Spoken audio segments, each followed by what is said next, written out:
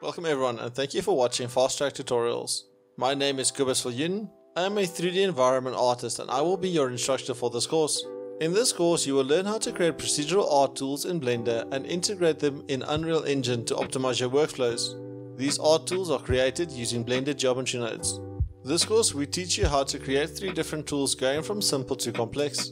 We will first create a trash scatter tool, allowing you to quickly scatter various amounts and types of trash in your scene.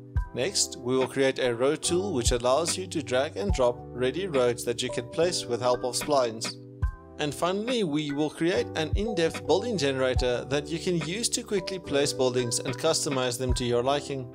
Next to this, we will be using a plugin called AlterMesh, which allows us to use our Blender geometry nodes inside Unreal Engine. And as a little bonus, we will also showcase to you how to build an environment quickly using these tools. The general takeaway is that at the end of this course, you will have the know-how on how to create both simple and complex tools using Blender geometry nodes, and on how to use these tools inside Unreal Engine.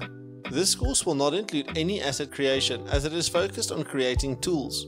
However, we will provide you with our source files. The geometry node networks will be done in Blender 3.5 and at the end scenes will be done in Unreal 5.2 using AlterMesh as a bridge between the two softwares. With a total of 11.5 hours of video content, I feel confident that at the end of this course you will understand the logic and workflows needed to start creating art tools for your 3D environments. This course will also come with auto-generated subtitles in English, Chinese and Spanish. I hope that you will enjoy this course and that it will have a positive impact on your life.